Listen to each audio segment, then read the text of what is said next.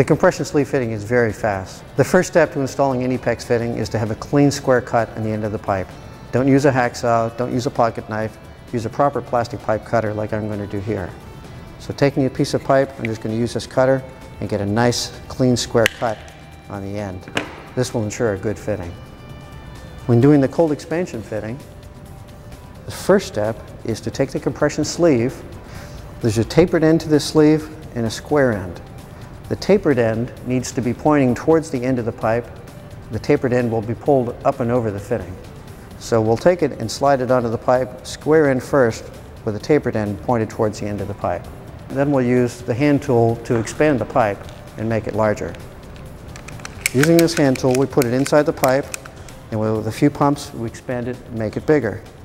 Now, we hold it open for a few seconds, but you'll see that because of these segments, the pipe is not perfectly round inside.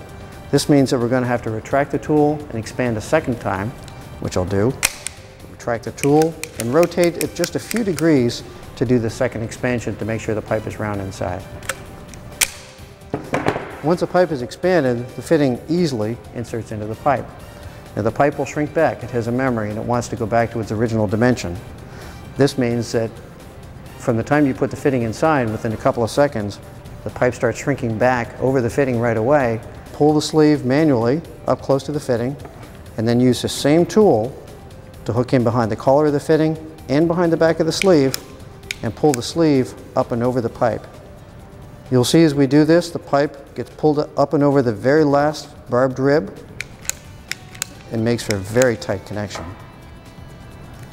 Just one set of action is all that's required to complete this fitting and as soon as it's done, you can tell visually that the fitting is complete. No other testing or calibration is required. First step will be a clean square cut.